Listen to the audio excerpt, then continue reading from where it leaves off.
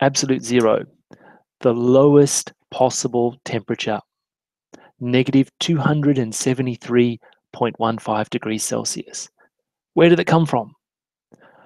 Well, it's based on two things experiment and observation, and using mathematics to predict.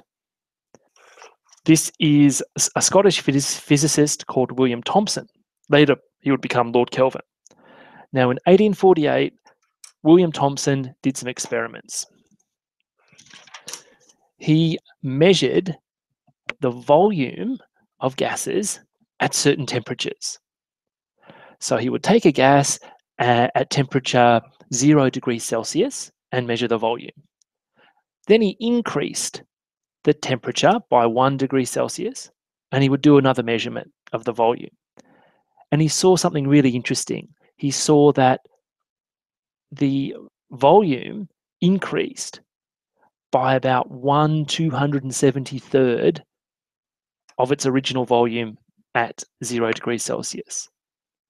And then he did another experiment. He decreased the temperature to negative 1 degree Celsius and he took the measurement of the volume again and it decreased by 1 273rd of the volume at 0 degrees Celsius.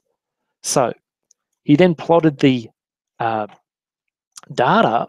Horizontal axis is temperature and the vertical axis is volume. And I've just chosen one unit to be the, the volume of the gas at zero degrees Celsius. He would have got a plot like this when he at, at one degree Celsius and a plot like this at negative one degree Celsius.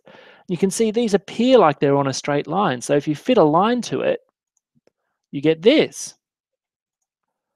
Okay, so what does that mean? How does that predict absolute zero? Well, let's follow that blue line along as the temperature decreases. So what happens to the volume as the temperature decreases? So let me just zoom out for a bit. Okay, so if we move to the left here, you can see the volume is decreasing as we get lower and lower temperatures. And what happens down here?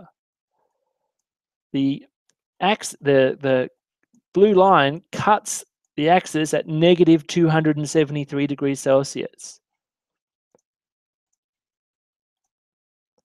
So what does that mean? Well, it says that if you can get down to, according to um, Thomson's calculations and measurements, if you can get down to negative 273 degrees Celsius, then a gas will have no volume.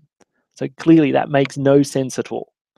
But what it did say to Thomson was that there was some sort of theoretical coldest temperature, some lower limit to temperature. Now, Thomson's measurements uh, using 19th century equipment, but they're still amazingly accurate. Okay, over the years, the uh, absolute zero got refined to negative 273.15 degrees Celsius.